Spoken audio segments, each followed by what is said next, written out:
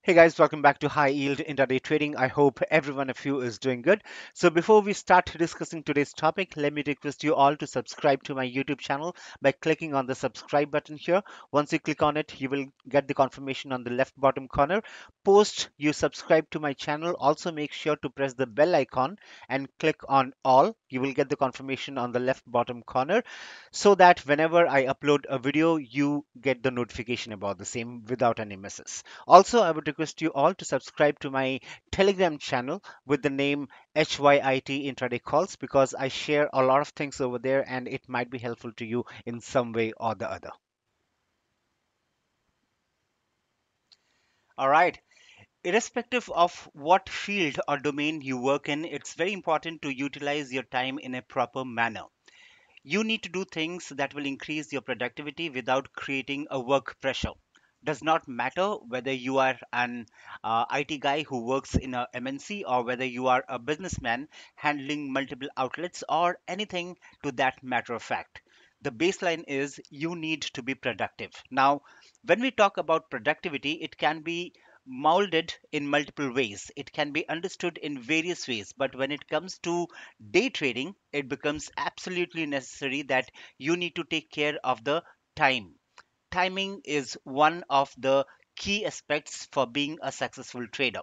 Let's say you have a very nice strategy that works really well for you, but if you don't take the right entry, then that strategy becomes worthless, right? So, timing is everything when it comes to day trading because in day trading, things change in minutes or even in seconds. Yeah, so you need to take care of that thing as well. So, now coming to the point how do we become productive? How do we make sure that we are uh, respecting the timing that is required while trading? Well, it's easy and you can do it by taking the help of the alerts. Now, you would say, what is the big deal? What is the big thing that I just said? You always take the help of the alerts to know uh, when a support level is reached or when a resistance level uh, is reached.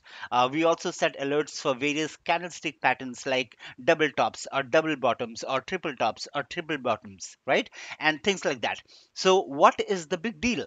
So, let me explain this here. I'm not take, uh, talking about those simple alerts that I just mentioned.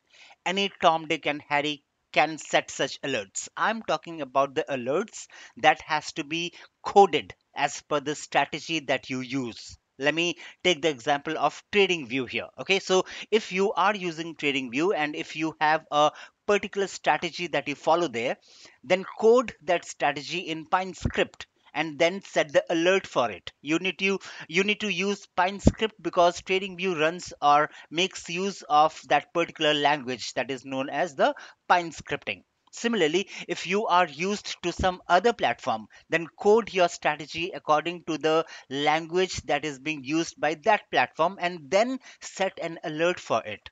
Okay. Also, one more thing that you need to know here is it will surely take a lot of time for you to write that particular script right?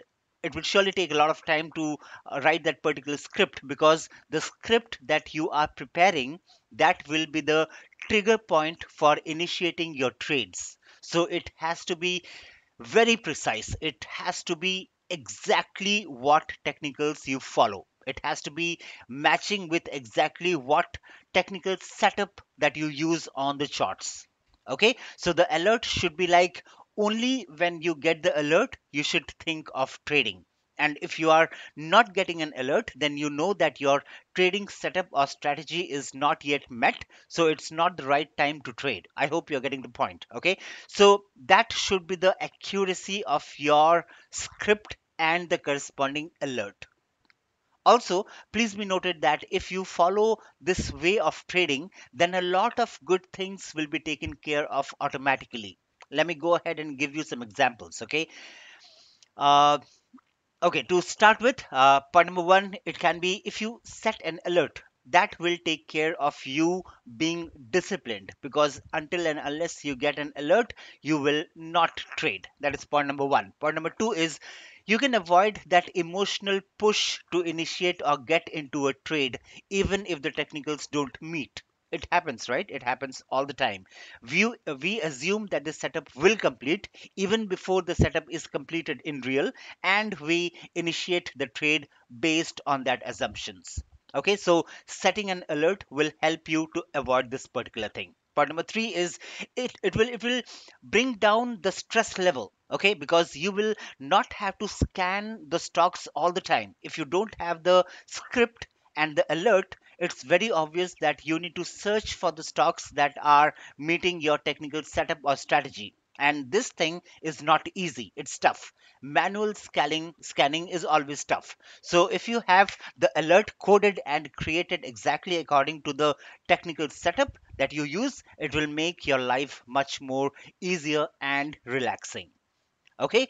There are many more advantages, but these are the few things that I can think of right now. So please realize the importance of setting the alerts. When we say that we have an alert set, it's not that easy because in order to set that alert, you need to have the strategy programmed or coded.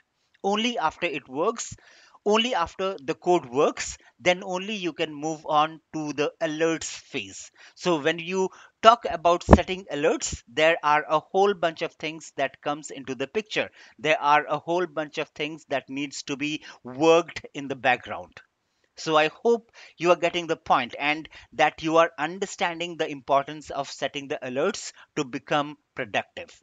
And one more thing is that the alerts are a kind of underrated, I would say, because people don't know the full potential of them, or maybe that people miss the things that the strategy has to be coded first and then the alerts will do the job. It's not that you just set a price alert and say that I'm making use of the alerts. No, that's not the exact purpose of the alerts okay? So my job is to remind you guys or to let you guys know how exactly the alerts should be used and the rest of the job has to be done by you guys okay? So that's it from my end guys. And for the guys who have not watched my previous video i have put in the video card on the right on the top right corner of this video the eye symbol that you see there. You can click on it and watch my previous video. And as always would request you all to like and subscribe to my youtube channel. And also please do not miss the ending of this video as you might get some more information about hyit that might be helpful to you in some way or the other. And please feel free to ask your questions or queries if any in the comment section and i will surely reply back to them. And also please do not forget to like this video if you liked it so that's all from my end, and I will see you all later. Hope you all will stick back. Happy trading and take care of yourselves. Bye bye.